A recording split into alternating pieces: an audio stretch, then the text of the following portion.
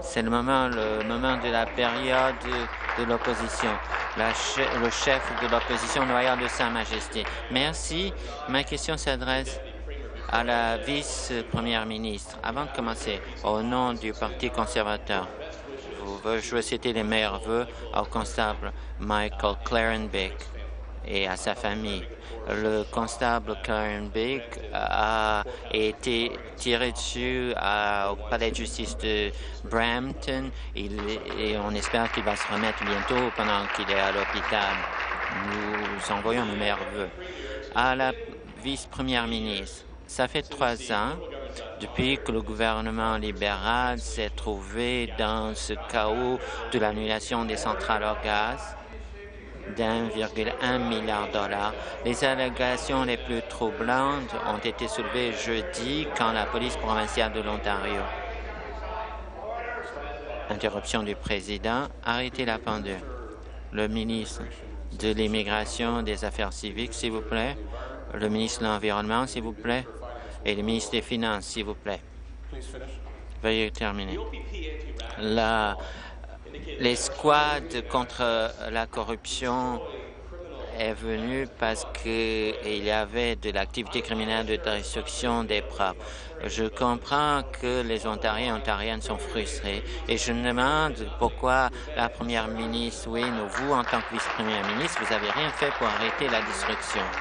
La vice-première ministre, merci, Monsieur le Président, et je veux aussi offrir les, euh, les souhaits euh, d'un rétablissement au constable Mike Clairbeck et sa famille. Ça nous a rappelé de la bravoure de, des agents de police qui mettent leur vie à risque à chaque jour pour nous protéger. Et donc, on souhaite qu'ils euh, se remettent assez rapidement. Je vais envoyer la question complémentaire au leader parlementaire du gouvernement, mais je vais toucher la question de la disponibilité de la première ministre. Elle fait son travail en tant que première ministre. Elle est euh, elle va à Sault-Saint-Marie et une annonce très importante au Collège Algoma. Elle a été disponible euh, pendant la fin de semaine. Elle était à Lindsay vendredi. Elle été avec la députée Wong pour être à résidence euh, Shepherd's Village et pendant toute la fin de semaine, elle était prête à répondre à des questions. J'ai hâte d'avoir la question complémentaire. J'espère, Monsieur le Président, je peux euh, avoir votre aide. Si la Première ministre ne peut pas répondre à la question, la vice-première ministre est prête à répondre. On s'est rencontrés le 28 juin dans son bureau, moi et ma première ministre, et j'ai parlé euh, le 28 janvier. Euh, dans le bureau de la première ministre. Elle agit comme première ministre. Elle m'a demandé de retirer des chefs d'accusation de de censure, d'outrage au Parlement. Maintenant, je comprends. Vous avez été à une réunion de caucus le 30 janvier 2014 et c'était la première ministre qui était responsable de ce groupe, de cette réunion du groupe parlementaire le 30 janvier. Est-ce que vous pouvez le confirmer? Le leader parlementaire du gouvernement, Monsieur le Président, commençons au début? Jeudi, on a su qu'il avait des allégations très sérieuses. C'est des allégations, même si le Président, si vrai, ce sont des allégations sérieuses et on le prend très sérieux de ce côté. Mais le fait est, Monsieur le Président, si des députés revoient les documents déposés dans les tribunaux, ils sauront que c'est des allégations qui ont trait à la période pendant laquelle le Premier ministre était le Premier ministre et à son son ancien chef de cabinet. Il n'y a pas de référence, Monsieur le Président, par l'implication de la Première ministre actuelle. Elle a expliqué cela. En dépit de ça, le chef de l'opposition continue à lancer des accusations sans base qui sont franchement une insulte et en bas de, du, poste qu'il a et on s'attend à ce qu'il remédière et il s'arrête de jouer de la politique avec cette question très sérieuse. Merci. Question complémentaire finale. Ça, c'est des allégations très sérieuses de destruction criminelle des preuves dans le bureau du Premier ministre euh, autour de l'annulation des centrales au gaz.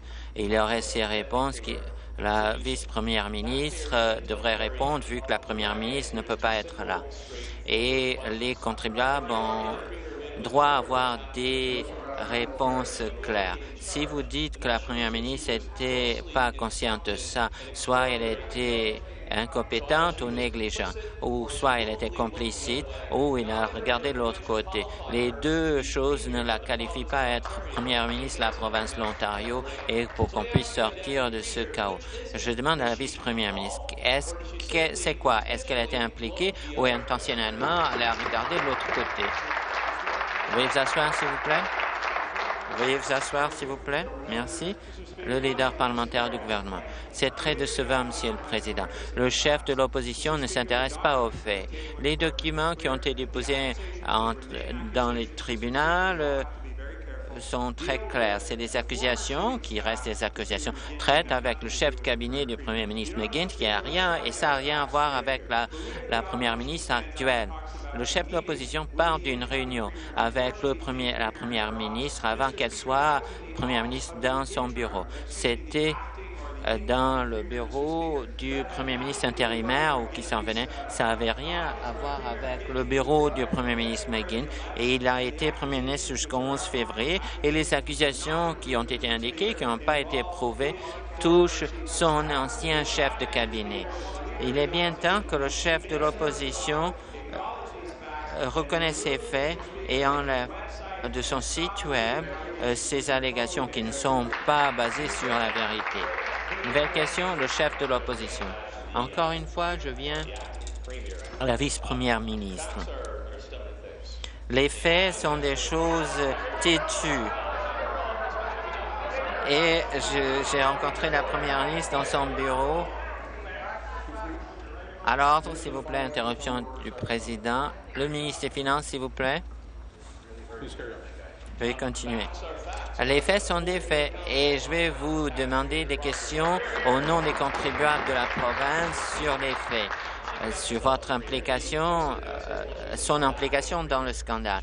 Elle agit comme première ministre, le leader parlementaire qu'elle a été la première ministre intérimaire assez ou la première ministre suppléante. En fait, Kathleen Wynne était la responsable. Le fait est que Kathleen Wynne était responsable. C'est le scandale de Kathleen Wynne aussi que Dalton McGinn. La destruction criminelle des preuves entre le 6 février et le 20 mars. Était-elle responsable ou négligente? Merci. Arrêtez la pendule. Le ministre de la Formation des collèges et des universités, s'il vous plaît. Le, la vice-première ministre, le leader parlementaire du gouvernement, Monsieur le Président, la réunion en question entre le chef de l'opposition et Kathleen Wynne a eu lieu dans le bureau de transition, pas le bureau du Premier ministre qui était ici dans ce, cet édifice. Il est bien temps d'avoir les frais euh, bien clairs.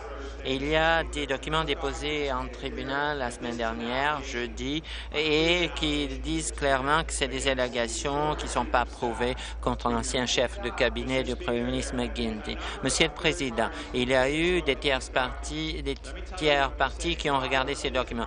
Lors de le Citizen d'Ottawa dit le 28 mars, les, cela termine avant euh, les preuves avant que Kathleen Wynne arrive au pouvoir.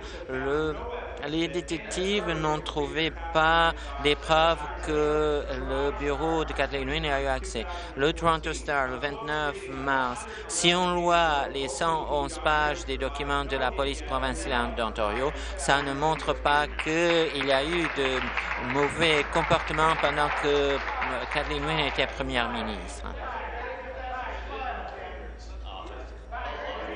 Le chef de l'opposition. C'est pas moi qui a rencontré la première ministre en tant que première ministre. Le 31 euh, janvier, Kathleen Wynne et Dalton McGuinn ont rencontré d'autres gens. Ce jour-là, le 31 janvier, euh, Kathleen Wynne est devenue la première ministre désignée. Le 31 janvier, elle a rencontré Dalton McGuinn, il est un gouverneur. Il est devenu la première ministre désignée. Et ça dit qu'elle était responsable et elle est responsable, elle a autant de responsabilités dans ce scandale autant Dalton McGuinty que Kathleen Wynne. Pourquoi elle n'a pas dit non et elle a arrêté la destruction des preuves sur le scandale des centrales au gaz? Elle n'a pas fait son travail. C'est ce que les, les contribuables s'attendent à ce qu'elle fasse. Merci. Je rappelle à tous les députés, je vais le dire encore une fois, il faut mentionner les gens soit par leur titre ou leur circonscription. Le leader parlementaire du gouvernement. Monsieur le Président, les, les accusations du député d'en face, il peut le répéter, mais ça ne rend pas vrai. Et elles n'ont pas de base, c'est des accusations irresponsables et il faut baisser le respect pour le poste qu'il a. Jeudi dernier, encore une fois, on a su qu'il avait un document déposé dans un tribunal avec des allégations qui n'ont pas été prouvées sur l'ancien chef de cabinet du premier ministre McGuinty. Et ça indique une série d'activités qui ont eu lieu pendant que le premier ministre McGuinn était le premier ministre, Monsieur le Président. Le chef de l'opposition peut essayer de se tourner en contorsion et redire des choses qui ne sont pas exactes à plusieurs reprises, mais le fait est que les faits parlent en soi et le chef de l'opposition l'a su hier. On a de ce côté de la Chambre consulté des experts juridiques quant à ce qu'on pourrait faire s'il continue avec cette accusation sans base. Merci. Question complémentaire finale. Regardons le, le bilan de Kathleen Wynne. Interruption du président. Question finale. La première ministre Wynne, elle a dit que les centrales au gaz, l'annulation aurait coûté 40 millions de dollars. Euh, on a trouvé et que c'était un milliard. Elle était coprésidente de la campagne libérale quand elle a annulé l'annulation des centrales au gaz. C'était elle qui a signé l'orientation du cabinet du pays TransCanada, ce qui prenait pour annuler les centrales au gaz. Ça nous a coûté un milliard de dollars. Le 31 janvier, elle est devenue premier ministre et le 7 février, elle a demandé au bureau du vérificateur général de faire un examen de l'annulation des centrales au gaz. Le 7 février, elle a donné des ordres, donc elle était responsable. S'il n'était pas, c'était vraiment de l'incompétence, elle n'était pas consciente. Et il est bien temps de changer l'équipe qui dirige cette province et nous, nous sommes prêts. Veuillez vous asseoir, s'il vous plaît. Veuillez vous asseoir. Merci. Le leader parlementaire du gouvernement. Monsieur le Président, je vais mettre le bilan de la Première ministre contre le bilan du chef de l'opposition n'importe à quel jour, Monsieur le Président. D'un côté, Monsieur le Président, nous avons une Première ministre. Interruption du Président.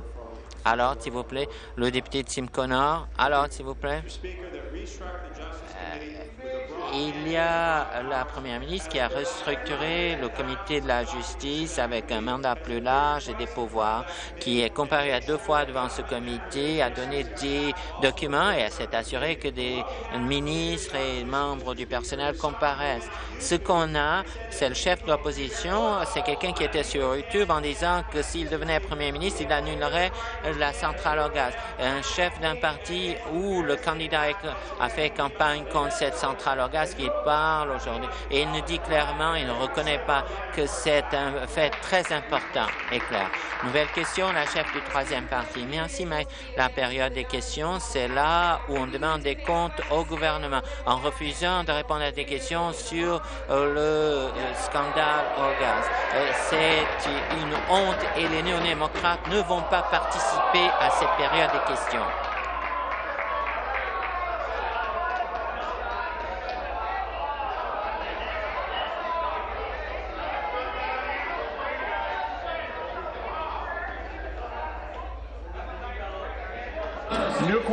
Nouvelle question.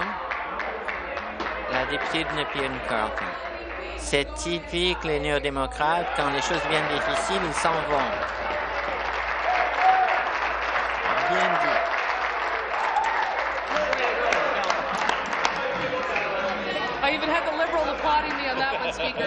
Il y a même les libéraux qui m'ont applaudi. S'il vous plaît, Monsieur le Président, vous me donnez un peu d'intelligence. La vice-première ministre le 26 janvier, la première ministre est devenue, la chef du Parti libéral. Le 28, elle se rencontre avec le chef de l'opposition pour demander qu'on arrête. Euh, le, euh, 30 janvier, elle mène le groupe parlementaire libéral. Le 31 janvier, elle se rencontre avec le premier ministre McGuinty pour devenir la, première ministre élue. Le 4 février, un service reçoit, euh, la jointe reçoit de David Livingstone un mot de passe et entre le 7 février et le 31 euh, mars, le 20 mars, la première ministre est première ministre. Et on a effacé 24 disques durs. Et je demandais si on pouvait avoir le disque dur de la première ministre Wynne. Elle a refusé. Merci. La vice-première ministre. Le leader parlementaire du gouvernement. Monsieur le Président, J'aimerais demander à la députée d'en face de se rappeler d'une autre date, le 11 février, parce que c'est la date d'entrée en fonction de la Première ministre Wynne et le chef de l'opposition était présent ce jour-là. Et donc, ce ne sont pas des arguments porteurs ici. Le 11 février, elle est entrée en fonction. Et on peut même aller au-delà. Regardons les documents qui ont été fournis. Cela montre très clairement qu'il y a des allégations qui sont faites et qui sont tout à fait sans fondement, sans aucune preuve, qui ont été faites à l'encontre de l'ancien chef de cabinet, M. Livingston, l'ancien chef de cabinet de M. le Premier ministre McGuinty, pour des actions qui euh, qu'il a peut-être, oui ou non, faites à ce moment-là. Et j'aimerais dire que Rien n'a été supprimé après la prise en fonction de Mme Wynne le 11 février. Merci. J'aimerais encore parler à la première ministre suppléante, vice-première ministre, pardon.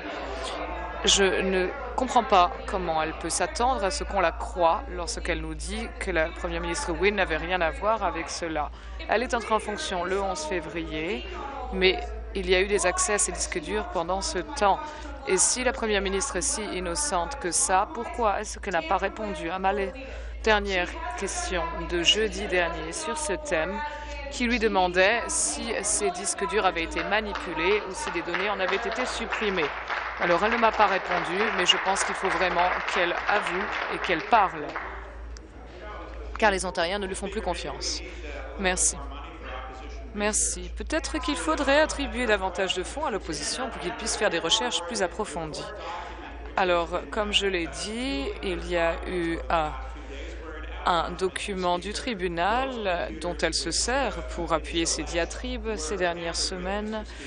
Mais en fait, eh bien, il s'agit d'un document du tribunal qui euh, a fait l'allégation que certains disques durs avaient été manipulés, mais en fait, ce document ne concerne pas du tout l'ordinateur de la Première ministre. Son nom n'apparaît pas une seule fois sur ce document. Donc, il s'agit là d'une campagne de diffamation. Ils sont en train d'insulter et de rabaisser les fonctions qu'ils occupent de l'autre côté de la Chambre. Et les documents disent très clairement, comme le disent les rapports, les reportages dans les médias, que ces allégations ne touchent que l'ancien chef de cabinet, M. McGuinty, M. Livingston. Merci. Nouvelle question. La députée de Mississauga Brenton Merci. Ma question s'adresse au ministre de la Formation des collèges et des universités.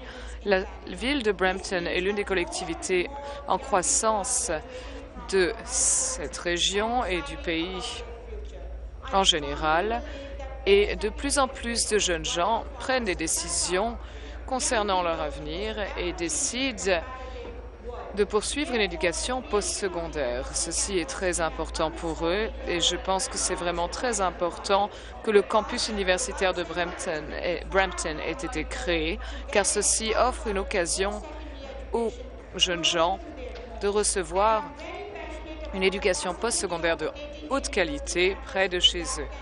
Et je suis tout à fait heureuse que ce campus puisse mieux répondre à leurs besoins. Est-ce que le, ministre pourrait dire à mes électeurs ce qui est fait en la matière? Merci. Merci. La députée qui vient de poser cette question est une grande défenseuse des intérêts de l'éducation postsecondaire dans sa circonscription et il y a eu un processus d'appel d'offres qui a commencé jeudi et nous sommes tout à fait engagés à améliorer encore la réputation déjà très bonne de notre secteur d'enseignement postsecondaire. C'est nécessaire pour pouvoir répondre aux besoins de la prochaine génération d'étudiants. Nous savons également que l'établissement d'un tel campus dans une collectivité peut avoir un impact tout à fait positif et important. Et donc, nous avons un, ce processus d'appel d'offres qui vient de démarrer et je suis sûre que ces électeurs sont également très heureux de voir que les choses sont faites en ce moment. Oui, c'est très encourageant d'entendre que les commettants de ma circonscription vont pouvoir travailler ensemble pour établir un nouveau campus dans la ville de Brampton. Mais je suis sûre que les gens de Brampton aimeraient également en savoir davantage sur l'admissibilité à ce campus dans le cadre des processus gouvernementaux. Et je suis en train de m'efforcer de travailler avec les partenaires locaux pour leur expliquer. Est-ce que le ministre pourrait expliquer quels sont les facteurs qui seront pris en compte lors de l'examen des candidatures? Merci. Réponse. Le processus d'examen des candidatures sera transparent et juste pour tous les promoteurs et nous allons nous assurer que ce projet soit mis en place dans les domaines où il y a des besoins.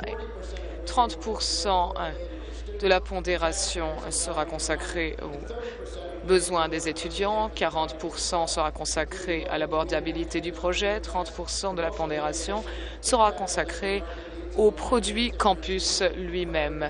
Nous allons promouvoir l'innovation et l'expansion du marché du travail et établir des priorités en ce sens et cela fait déjà une décennie que nous investissons dans la concurrentialité de notre système d'éducation postsecondaire et nous voulons donner aux étudiants la qualité qu'ils exigent en ce domaine. Merci. Nouvelle question. Ma, ma question s'adresse à la vice-première ministre. Il y a de nombreux points communs entre le scandale des centrales au gaz et la débâcle financière de l'Ontario. Le gouvernement nous a dit que l'annulation de ces centrales allait nous coûter 40 millions, mais en réalité, la vérité générale nous a dit qu'il s'agissait en fait de 1,1 milliard de dollars de coûts. Et maintenant, dans votre budget, vous nous dites que vous allez établir un équilibre d'ici 2017.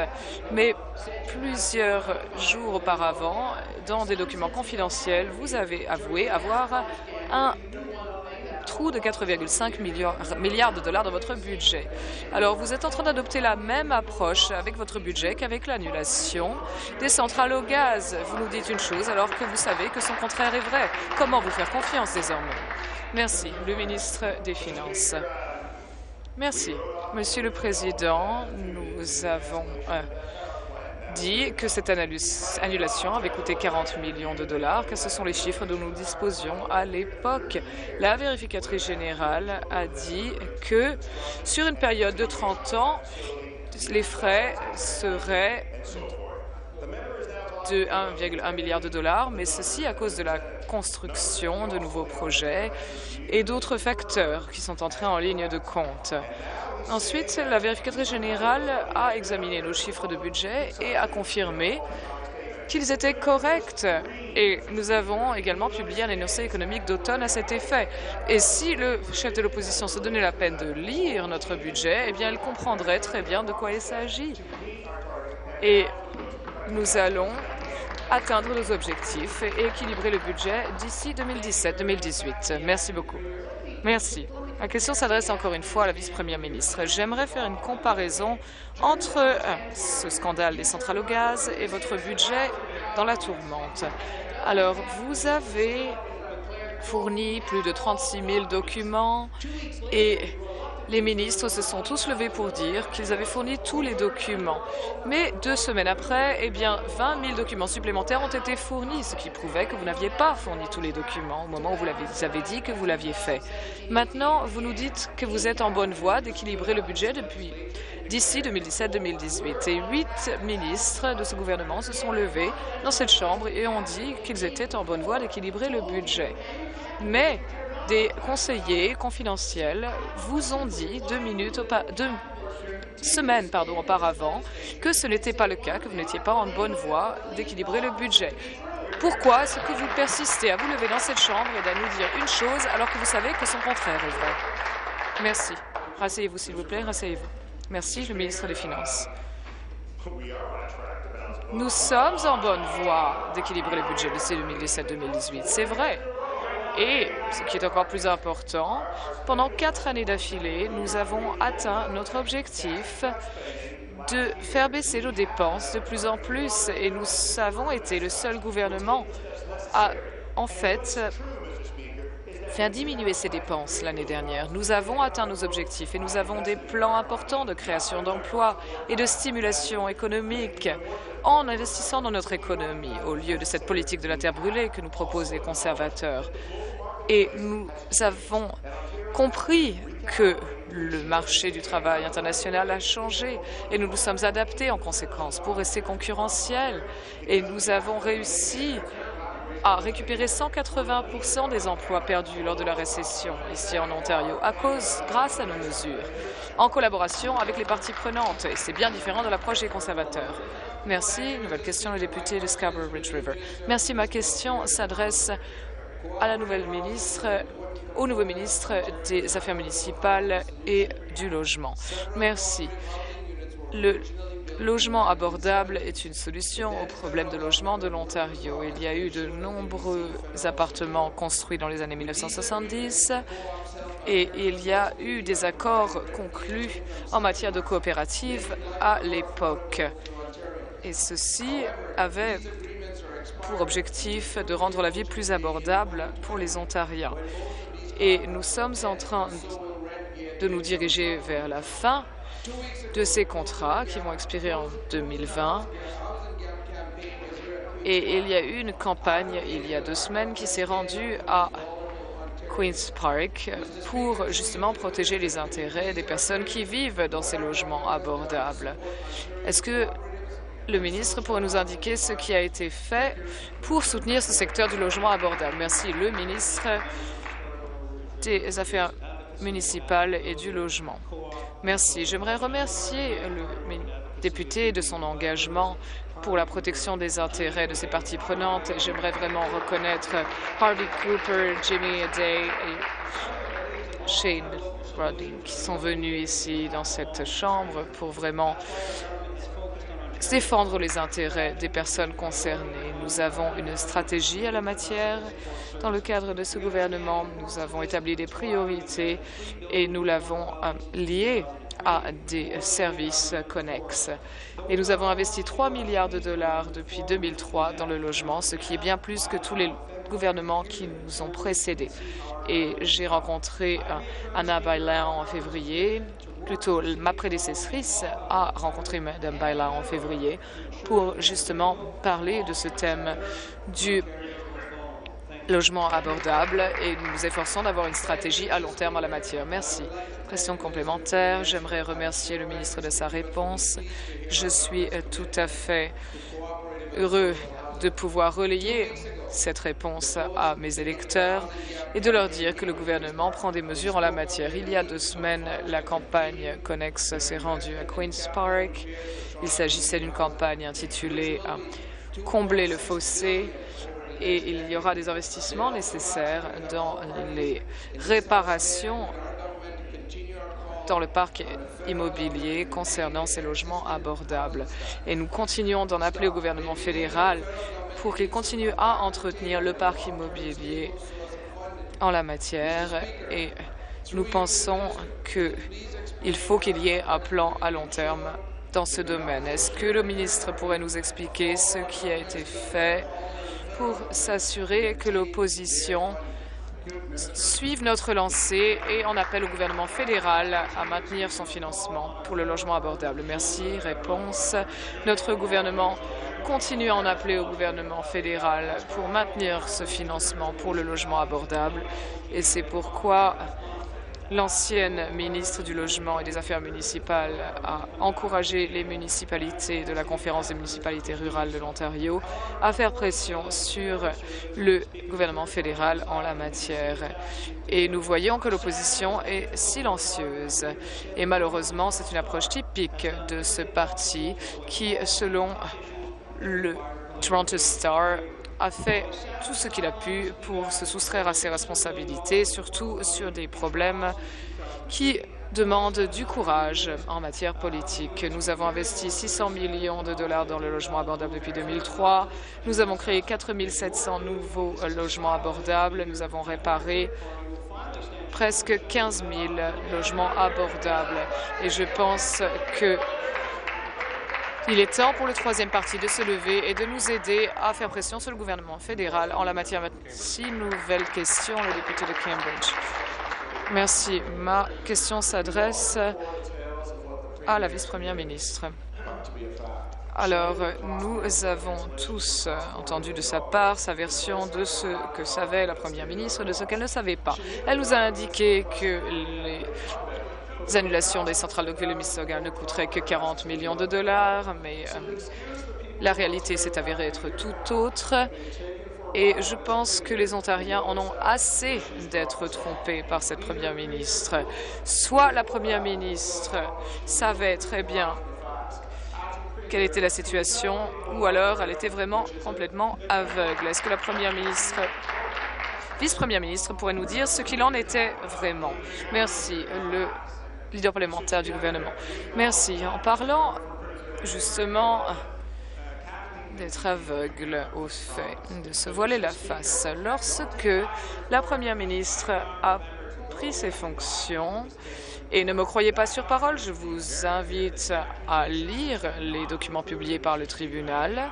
Ce document, l'un de ces documents, prouve sans appel que les actes dont parle l'opposition ont eu lieu pendant que l'ancien premier ministre McGuinty était en fonction et que ces actes impliquaient son chef de cabinet de l'époque. Et donc, ces députés de l'opposition euh, sont en train de faire des accusations, de porter des accusations tout à fait sans fondement et la Première ministre est en train de demander des conseils juridiques pour pouvoir se défendre contre ces allégations sans fondement. Merci. C'est une réponse tout à fait incroyable. Ce gouvernement se vante de nous avoir fourni de nombreux documents alors qu'il savait très bien que de nombreux autres documents avaient été supprimés, manipulés, corrompus, endommagés ou détruits par le partenaire de l'ancien chef de cabinet adjointe, ancienne chef de cabinet adjointe. Donc c'est vraiment une honte. Et Madame la vice-première ministre, lorsque l'on allume son ordinateur dans la vraie vie et que l'on décide de supprimer des documents importants, eh bien, on perd son emploi. C'est ça la réalité. Mais les personnes qui sont responsables pour ce scandale ont tous reçu des promotions, malheureusement au lieu d'être licenciés. Donc, Madame la vice-première ministre, pourquoi est-ce que les anciens membres du cabinet de M. McGuinty ont été promus pour leur silence au lieu d'être licenciés? Merci. J'aimerais euh, vous inviter à la prudence. Excusez-moi, j'aimerais pouvoir parler. J'aimerais pouvoir parler, s'il vous plaît. J'aimerais pouvoir parler, s'il vous plaît. Le député de Lambton-Kent Middlesex, le député de Lambton-Kent Middlesex continue euh, de m'interrompre et je pense que ce n'est pas une bonne chose. la ministre de l'Éducation, à l'ordre, s'il vous plaît. Le député de Simcoe North, à l'ordre, s'il vous plaît. J'aimerais vous inviter à la prudence. Je n'aime pas le langage qui est utilisé. Ce n'est pas un langage non parlementaire proprement parlé, mais j'aimerais quand même vous inviter à la prudence en la matière. Merci. Merci. Monsieur le Président, je pense que vraiment il ne pourrait pas descendre plus bas. C'est incroyable, le niveau du débat. Alors, Jeudi dernier, un document du tribunal a été rendu public qui contenait des allégations concernant l'ancien chef de cabinet de M. McGuinty. C'est un document plutôt volumineux qui contient plus de 100 pages et il est très clair, lorsque l'on lit ce document, que les allégations concernent M. Livingston et que ces allégations n'ont pas encore été prouvées. Et je pense que cette tentative de la part de l'opposition de traîner dans la boue ces personnes qui ont travaillé très dur pour le gouvernement précédent et qui sont tout à ces accusations sont tout à fait sans fondement et ce sont des accusations tout à fait vraiment basses et je pense que c'est vraiment digne de mépris. Merci. Nouvelle question à la députée de Scarborough-Guildwood. Question s'adresse au ministre responsable des affaires pour, euh, des délégués aux affaires des personnes âgées.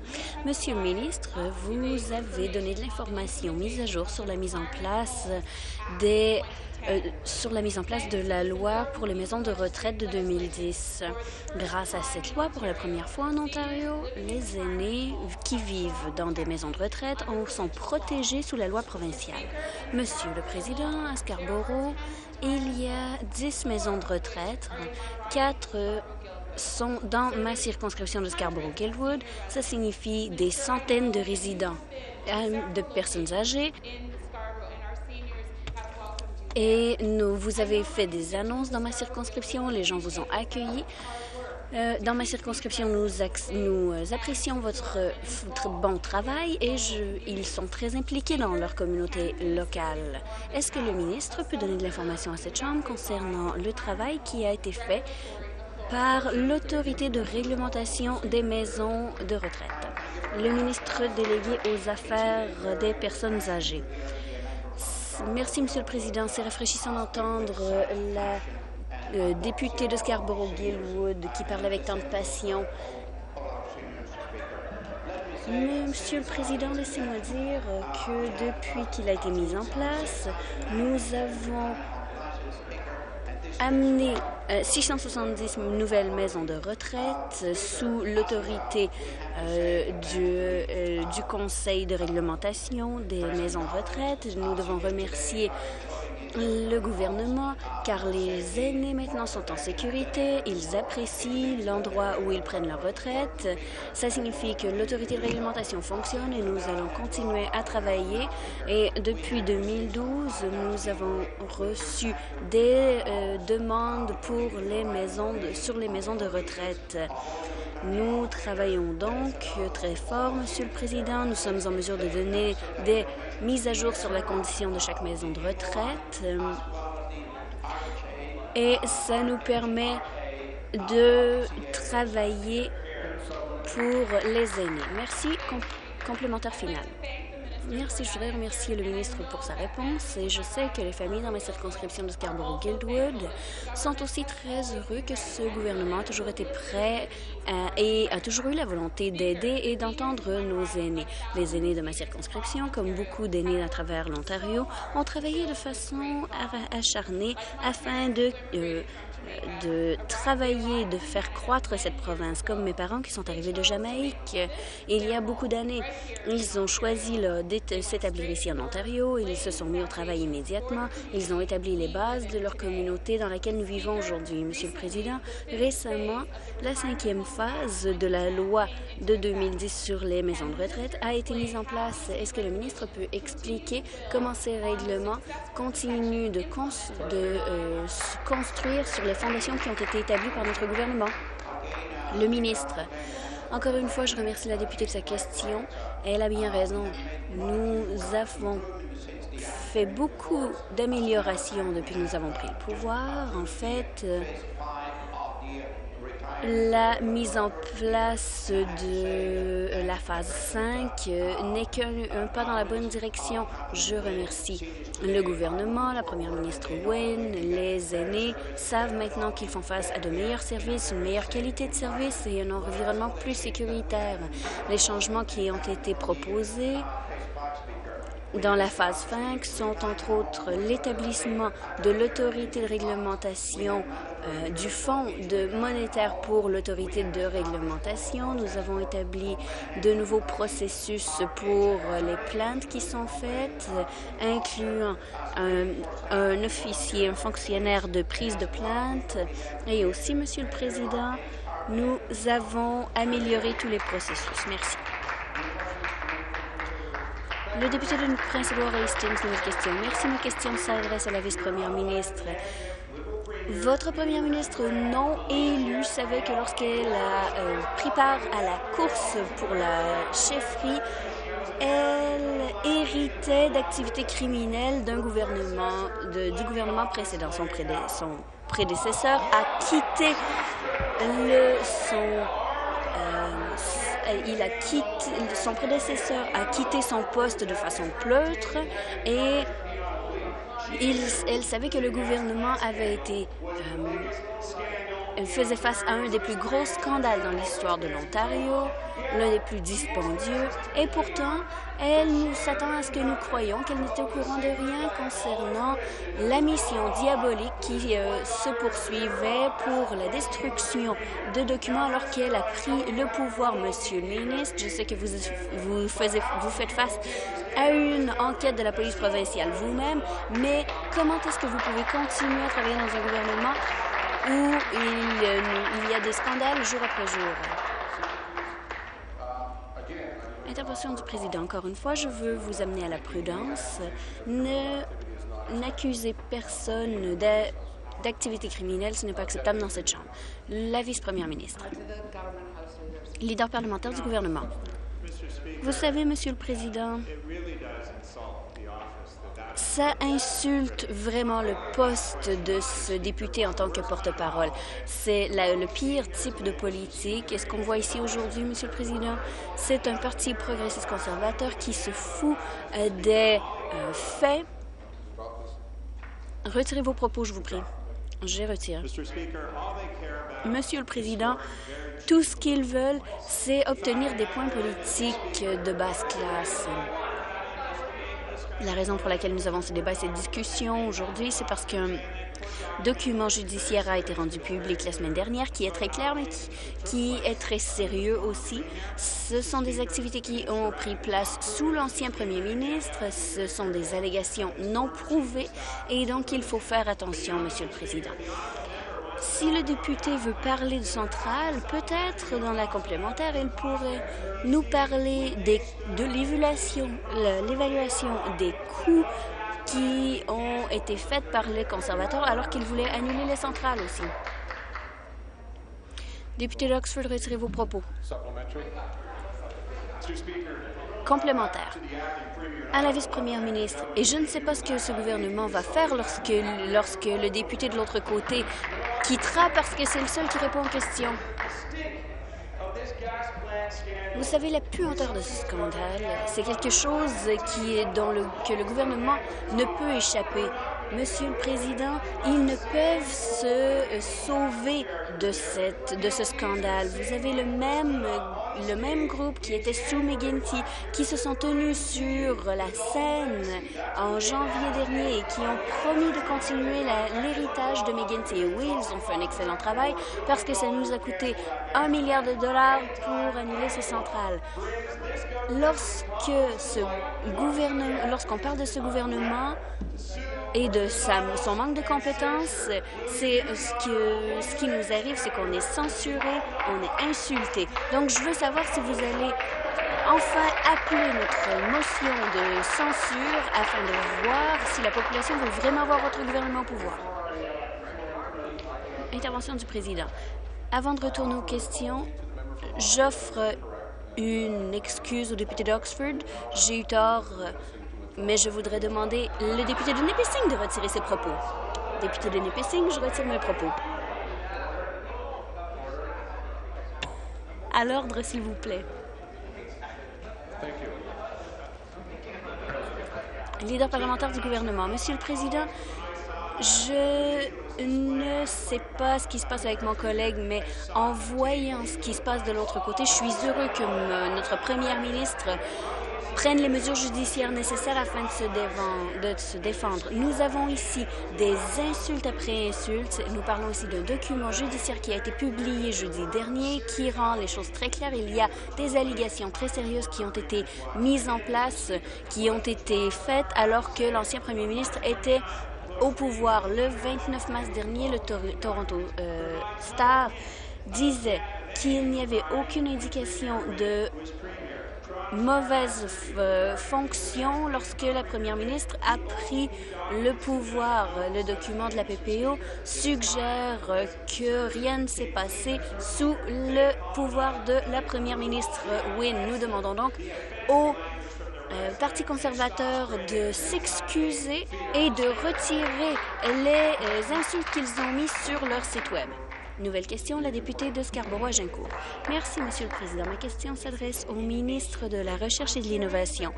L'Ontario est reconnu comme étant euh, une institution très importante et qui collabore avec l'industrie. Pour construire sur cette relation, nous continuons à mettre en place les piliers pour améliorer le climat des affaires qui créera de l'emploi et qui amènera de bons investissements. Cette collaboration dans ce marché global est essentielle et ça nous amène un avantage. Les entreprises doivent être en mesure euh, d'avoir accès à de l'expertise mondiale et aux connaissances mondiales. Donc, Monsieur le Président, est-ce que le ministre peut nous dire quelles euh, étapes sont mises en place pour améliorer la relation avec les institutions?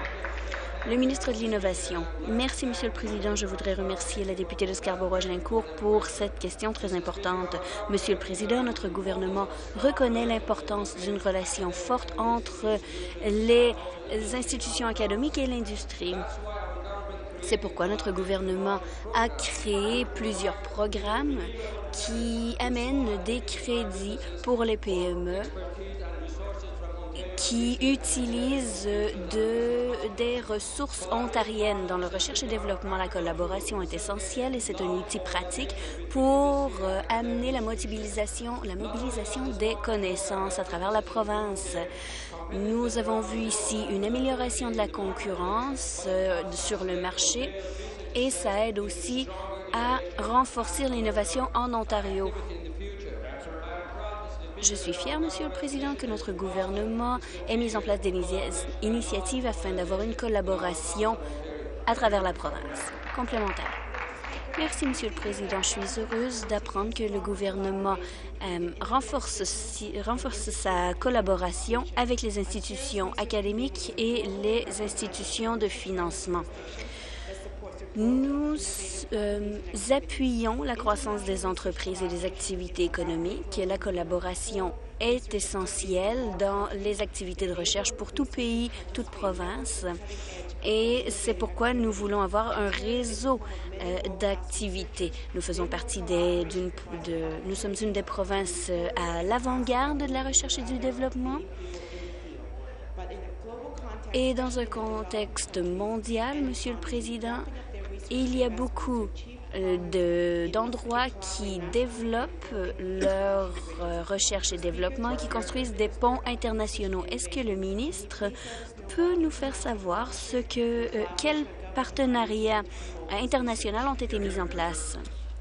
Le ministre. Merci, Monsieur le Président. Je veux encore une fois remercier la députée de Scarborough-Gincourt pour sa question.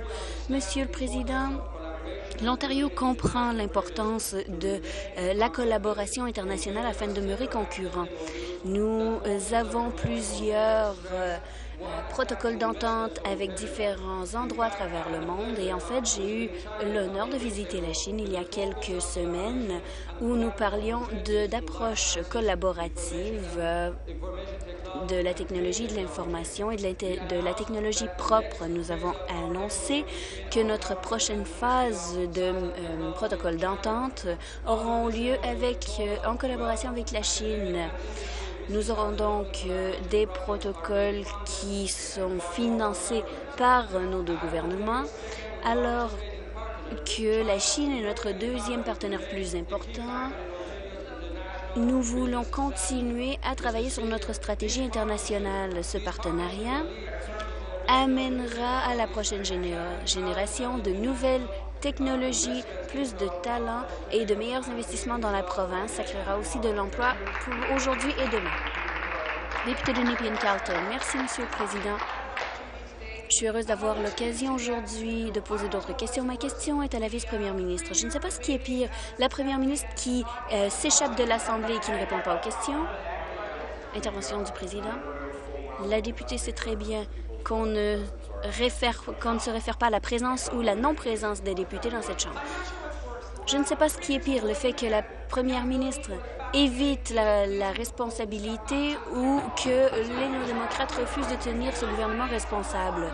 Si elle ne veut pas répondre euh, oui ou non si la première, le discours de la première ministre a été effacé, est-ce que la vice-première ministre nous dira pourquoi euh, euh, nous dira si le, le, personnel de la première ministre a aussi effacé ses disques durs. Le leader parlementaire du gouvernement. J'ai répondu à cette question il y a quelques minutes. Euh, la députée peut regarder le document qui a été publié par les coups, par les tribunaux, qui montre euh, les allégations qui sont portées. Ça n'inclut pas le nom de la première ministre Wynne, mais le, euh, nom d'autres individus. Ils sont très clairs. Ce qui est mal, Monsieur le Président, c'est qu'il y a des allégations ici qui sont faites, portées par les, les conservateurs. Laissez-moi euh, citer le Toronto Star qui dit euh, que la chef du troisième parti a euh, concentré ses questions sur la sur la période où la première ministre a été assermentée. Monsieur le Président, les conservateurs ont essayé la même chose en novembre 2009 et la chef du troisième parti a dit qu'il est très important de faire entendre la voix de la population dans cette Assemblée et je n'apprécie pas leur tactique. C'est intervention du président. Complémentaire. Les néo-démocrates et les libéraux peuvent jouer à tous les jeux qu'ils veulent. Il y a eu des des moments de relations publiques au cours de la fin de semaine, mais la seule personne qui demande vraiment de, la redevabilité sur ce scandale, c'est le chef du Parti conservateur, Tim Wodak. Ce que je veux savoir, c'est Peter Fast, qui a été engagé par euh, les libéraux pour effacer les disques durs. Est-ce qu'il a été payé euh, à partir d'argent du budget du, du bureau de la première ministre? Combien est-ce qu'il a gagné pour effacer ce, euh, ces documents et est-ce que ça s'est produit sous le leadership de la première ministre Wynne? Leader parlementaire du gouvernement.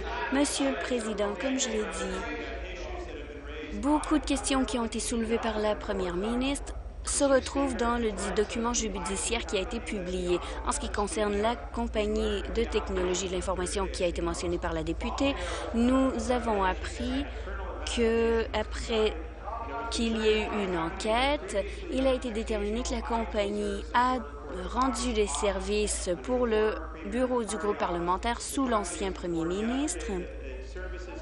On a informé euh, la compagnie hier que leurs services ne seraient plus utilisés. Monsieur le Président, les allégations se concentrent sur le, sur le chef du cabinet de l'ancien premier ministre et non pas de Mme Wynne. Et le fait est que ce sont des allégations et j'appelle tous les députés à la prudence et qu'ils permettent à la police de faire son travail. Le député de Mississauga-Streetsville, nouvelle question. Merci, Monsieur le Président. Ma question s'adresse à la vice-première ministre. Hier, la première ministre a envoyé une lettre ouverte au chef de l'opposition. Dans cette lettre, la première ministre demandait au euh, chef de l'opposition, à son groupe parlementaire et à son parti d'arrêter de faire des allégations fausses et diffamatoires. Est-ce que, Madame la Première ministre, est-ce que vous pourriez partager le contenu de cette lettre? La vice-première ministre, je serai heureuse de la lire. Au compte-rendu, elle date du 30 mars 2014. À Monsieur Temoudak, cher Monsieur Oudak, lors de votre conférence de presse le 27 mars, vous avez fait plusieurs accusations, allégations fausses diffamatoires euh, et trompeuses. Ça provient de la première ministre. Vous avez dit que lorsque j'ai que vous avez dit que j'ai demandé la destruction de de documents et que cette conduite criminelle s'est produite sous mon bureau. Et votre, vos députés ont répété ces accusations, ces allégations dans, et vous l'avez même, les avez même posées sur votre site Web. Elles sont fausses et complètement scandaleuses et vous devriez le savoir, Monsieur le Président. Je vais continuer dans euh, la complémentaire. Merci à la vice-première ministre euh, d'avoir partagé cette lettre à partir du moment où elle a été assermentée. La première ministre a ouvert le gouvernement et ce, à un niveau sans précédent. Sous la première ministre euh, que nous avons, nous avons mis en place de la formation pour le personnel afin qu'ils euh, sachent quels documents ils peuvent effacer ou non. Madame la vice-première ministre, est-ce que vous pouvez continuer à partager le contenu de cette lettre? Merci. La première ministre ajoute, et en tant qu'opposition, l'opposition doit avoir euh, un débat honnête sur les enjeux et qu'il y a une enquête euh, policière sur euh, l'annulation des centrales. Les déclarations erronées, trompeuses et diffamatoires ne sont pas acceptables. Il devrait y avoir aucune tolérance en matière de déclaration mensongère, trompeuse et diffamatoire et, de, de retirer les documents du site web des conservateurs. Et si ces mesures ne sont pas prises, je n'aurai pas d'autre choix de prendre les mesures nécessaire. Veuillez vous asseoir. Merci. Nouvelle question. Député de Nepean Carlton, ma question s'adresse au leader parlementaire du gouvernement.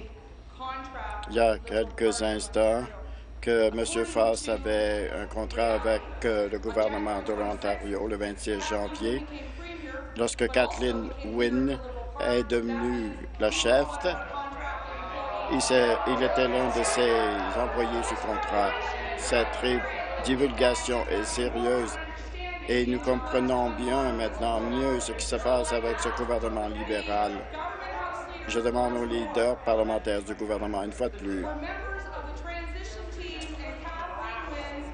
Est-ce que les disques durs de l'équipe de transition ont été effacés par un un employé contractuel embauché par, euh, par les libéraux et la première ministre élue. Je, je crois que c'est plus long que la lettre de Cohen Monsieur le Président, jeudi dernier, un, un document de la Cour a été rendu public. Je crois que c'est sur le site web du Toronto Star. Je crois que vous devriez que vous devez payer des frais chaque mois. Parce que je voudrais que vous le lisiez, parce que ça décrit les ordinateurs de l'ancien personnel de l'ancien premier ministre euh, Ce sont des allégations non prouvées et on devrait permettre à la police de faire son travail. Mais en termes, en matière d'équipe de transition, j'indique à la députée que le comité a reçu de l'information et des courriels de l'équipe de transition. Elle devrait lire ces documents. Comme je l'ai dit, le document de la euh, mentionne les ordinateurs concernés. Je suis que le ministre, j'ai été la première personne qui a soulevé cet élément en Chambre. J'ai demandé au ministre des détails précis et choisi de ne pas les donner. Je demande au ministre, une fois de plus, va-t-il fournir à la Chambre, au comité, au chef de l'opposition officielle, la nature du contrat avec Peter Face avec le Parti libéral de l'Ontario? Veuillez vous asseoir. Veuillez vous asseoir. Merci. Député. Député de Dufferin-Caledon, à l'ordre, Monsieur le Président. Le bureau du Conseil des ministres ont besoin de personnel informatique pour communiquer avec les Ontariens.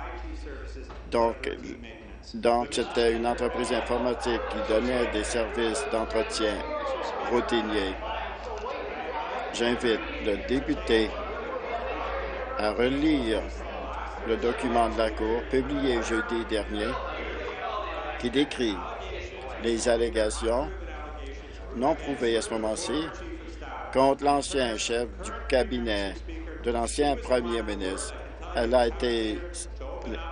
C'est la première ministre qui a décidé d'élargir le mandat du comité. Nous avons fourni plus de 360 000 pages de documents à ce comité, y compris des documents et des courriels de l'équipe de transition. Elle devrait lire ce document. Ma question s'adresse au ministre du Transport et de l'Infrastructure. Monsieur le Président, je conduis, euh, je roule 1500 km par jour, par semaine, pardon, et nous avons les routes les plus sécuritaires en Ontario et nous voulons que les aînés conduisent le plus longtemps possible en sécurité. Récemment, le ministre a apporté des modifications concernant au cours de conduite ou l'essai de conduite des aînés. J'ai encore des questions. Quelles sont les modifications apportées par vous et au ministre? Pouvez-vous parler des modifications aux tests de conduite des aînés en Ontario? ministre de l'Infrastructure et des Transports. Merci. Je sois... Parce que je ne peux pas mentionner l'âge de ma mère. Elle sera fâchée. Donc, je dois bien me conduire aujourd'hui. C'est quelqu'un qui ne conduit pas la nuit. Elle a abandonné sa voiture lorsqu'elle est venue vivre en ville pour être plus près de moi et de sa famille qui s'occupe d'elle. Elle a décidé, et c'est, elle est très décidée, elle voulait renouveler son permis de conduire. Et je remercie la première ministre qui a apporté les modifications au permis de conduire. Elle a pris un test de de, la vue. Elle a participé à un cours de conduite, a participé à des ateliers ainsi qu'à des, à des cours de lecture en atelier.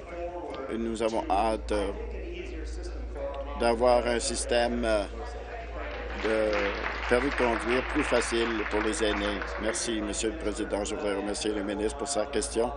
C'est bien pour mon père et ma mère qui sont des aînés. Je me souviens que ma mère qui, euh, qui euh, n'a pas toujours réussi euh, la voiture dans, ma, dans mon entrée. Merci des modifications apportées au processus. Un grand nombre d'aînés veulent continuer à conduire le plus longtemps possible en toute sécurité. L'ancien programme était opposé, faisait un fardeau et stressait les individus. Et les modifications sont, sont importantes pour les aînés et que le processus sera plus court pour les aînés par vous et au ministre. Est-ce que le ministre peut expliquer pourquoi? Qu'est-ce que vous avez amélioré? Est-ce que cela occasionnerait des nouveaux frais pour les aînés? Ministre, merci. Monsieur le Président, j'ai vécu une fois dans le côté de Prescott Russell. Mon père et ma mère se sont presque séparés lorsque mon père voulait avoir une Volvo parce qu'elle pensait qu'elle avoir euh, euh, elle, pouvait avoir un frigo dans, le, dans la Volvo. Et lorsqu'on a parlé d'insémination artificielle, j'ai dû quitter euh, la table à dîner et un grand nombre de personnes et que la vue pose un problème à cet âge. Il n'y aura plus d'essais, de, de tests compliqués à apprendre. Ce sont des tests très difficiles. Donc, ils devront suivre un cours, cours en salle de classe. Il n'y a aucun frais qui sera ajouté à cette modification. Et nous allons avoir un nouveau système pour les aînés. Merci, Monsieur le Président.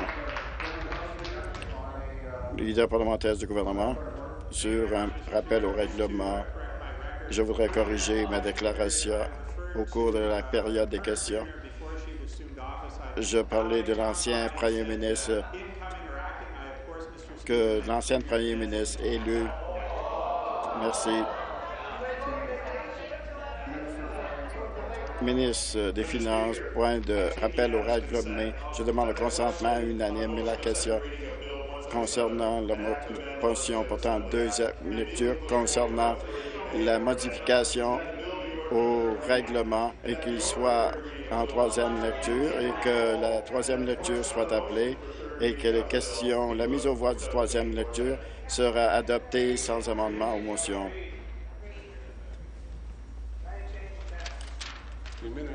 Le ministre des Finances demande le consentement unanime pour, pour euh, troisième lecture du projet de loi 177 pour modifier la loi sur l'Assemblée législative qui sera mise aux voix sans autre débat ni amendement et que la question sur la troisième lecture soit mise aux voix sans débat. J'ai entendu un nom.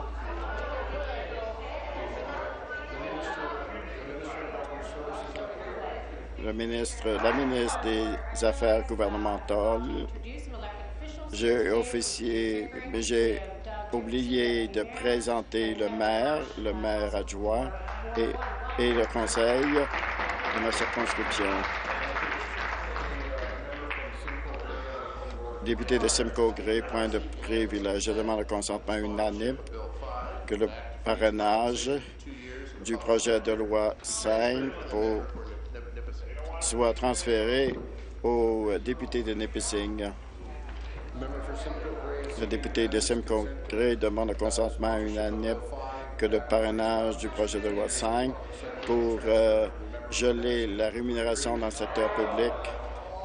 Sommes-nous d'accord? J'ai entendu un nom. Le ministre responsable des aînés, un rappel au règlement. Je serais heureux si on on pouvait avoir un débat de fait séance. Ce n'est pas un rappel au règlement. Étant donné qu'il n'y a plus aucune mise aux voix différée, la Chambre ajourne ses travaux jusqu'à 13 heures.